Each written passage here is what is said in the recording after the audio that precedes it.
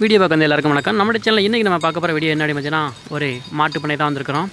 இந்த மாட்டுப் பண்ணையில் பார்த்தீங்கன்னா கிட்டத்தட்ட ஏராளமான மாடுகள். ஒன்றும் இல்லை ரெண்டு இல்லை நூற்றுக்கணக்கான மாடுகள் மொத்தமாக வச்சு வளர்த்துட்ருக்காங்க இந்த மாடுகளை இவங்க வந்து எப்படி மெயின்டைன்ஸ் பண்ணுறாங்க எத்தனை மாடுகளை வளர்க்குறாங்க? இந்த மாடுகளில் என்னென்ன விதமான மாடுகள்லாம் இருக்குது? இந்த மாடுகள் மூலமாக இவங்களுக்குரிய வருமானங்கள் என்னென்ன இருக்குது அப்படி சொல்லி அப்படிங்கிற முழு தகவலையும் மாட்டினுடைய உரிமையாளர்கிட்ட கேட்டு நம்ம தெரிஞ்சுக்கலாம்.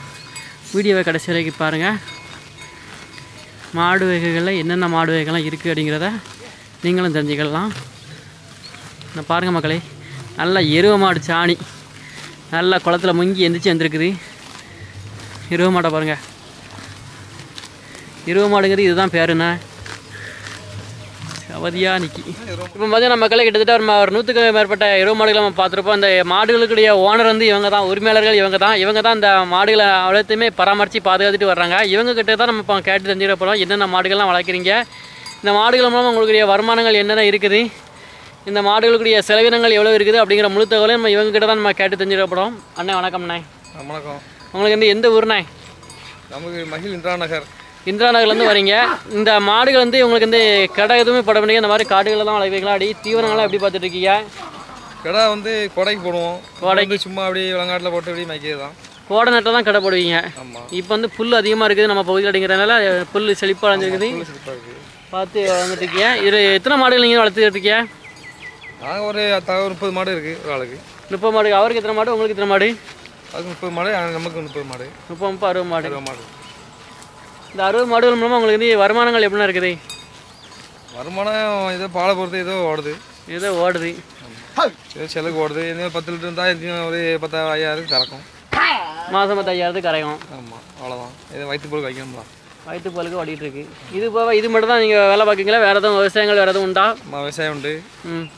அது மூலமாக உங்களுக்கு வருமானம் இருக்கா? அதிகமாக இது இது மூலமாக உங்களுக்கு அதிகமான வருமானம் இருக்குதா? அதிகம் வருமானம் அதில் என்ன நட்டம் தான் வரும்.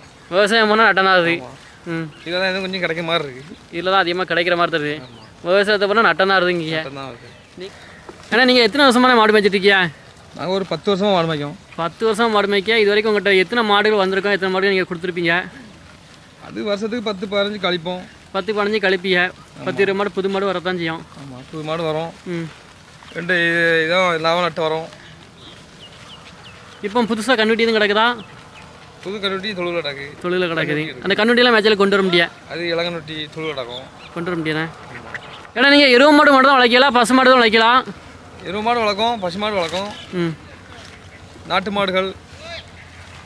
நாட்டு மாடுகள் கிரு மாடு எல்லா மாடும். எல்லா சாதியும் வளர்க்குறோம். எல்லா சாதி மாடுகளும் வளர்க்கிய? உங்களுக்கு வந்து எருவு மாட்டில் லாபம் அதிகமாக பசு மாட்டில் லாபம் அதிகமா? எல்லா மாட்டுலையும் லாபம் தான் எல்லா மாட்டிலையும் லாபம் தான் பார்க்கணும்.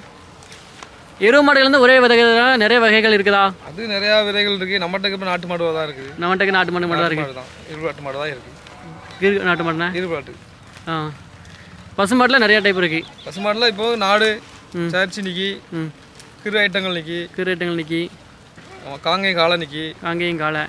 காங்கேயம் காலை லேசாக பார்க்கலாமா? அது கண்ணுட்டியாக தான் நிற்கும் கண்டுபிட்டி தான் நிற்கிறோம் ஆமாம் லேசாக பார்ப்போம் வாங்களேன்.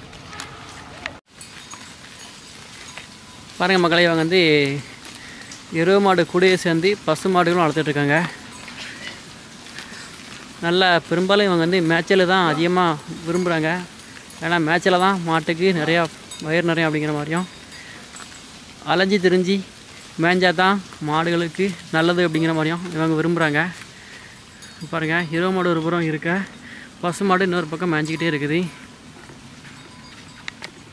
பசு மாடுகளில் இவங்க விரும்பி வளர்க்குறது பார்த்திங்கன்னா நாட்டு மாட்டு இனங்களை தான் விரும்பி வளர்க்குறாங்க. நாட்டு மாடு பசு மாடு. நம்மளை கண்டானே ஏதோ முறைக்குது. ஒரிஜினல் நாட்டு மாடா? ஒரிஜினல் நாட்டு மாடு அப்படிங்கிறார் இந்த மாட்டை. ஹைப்ரிட் நிறையா இருக்குது. ஆனால் இதுதான் ஒரிஜினல் மாடு அப்படிங்கிறாரு.